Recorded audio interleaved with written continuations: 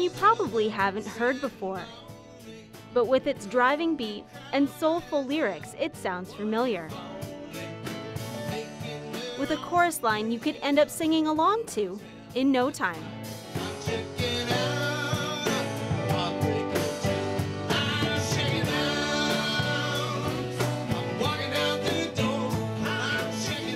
And that's exactly what this Nanaimo based band wants you to do.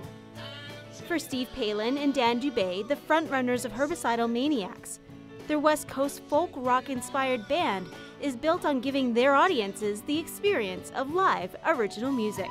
I think we have a really good sound. We have country kind of tunes, we have rock tunes, we have blues tunes, it's and folk tunes, it's all there. Yeah, we want them to have a good time, we want them to enjoy the music, and we want them to come back. There's something to be said about well, listening to your stereo or, or listening to music at home as opposed to watching a performance. And it's, it's just, there's an energy there that just needs to be experienced.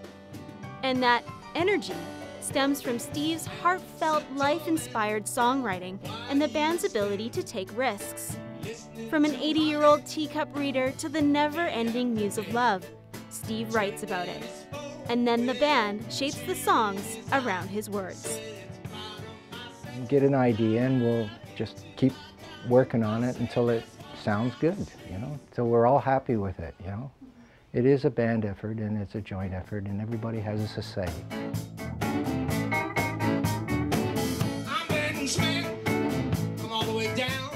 Influenced by the likes of Cat Stevens, Bob Dylan, and Van Morrison, the band's music reflects on the spirit from the 60s and 70s, which is often associated with the era of free love and lots of herbs.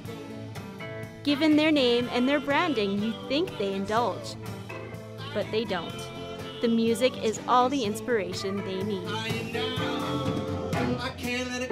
To be able to, I guess it's just be able to express yourself as opposed to having somebody um, that you're just trying to emulate or replicate.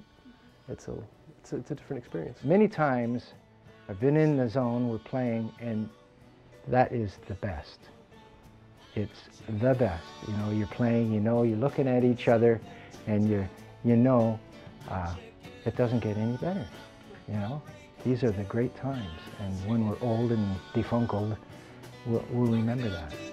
Steve, Ed, Brent, and Dan are inspired that the music that they've listened to and loved is in turn inspiring their audiences of today. The guys are in the process of recording their second album and are looking forward to bringing their West Coast folk rock sound to more venues across Vancouver Island. In Nanaimo, I'm Jocelyn Matui.